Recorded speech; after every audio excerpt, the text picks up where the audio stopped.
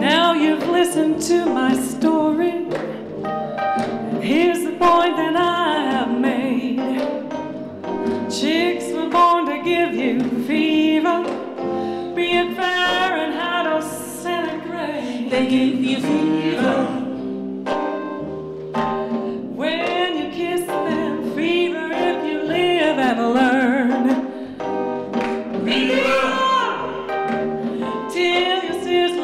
But what a lovely way to burn. What a lovely way to burn. What a lovely way to burn.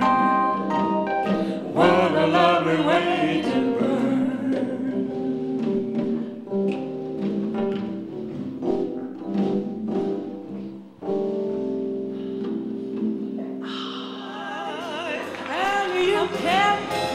To the moon let me swing upon a star.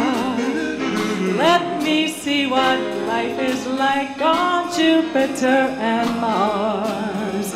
In other words,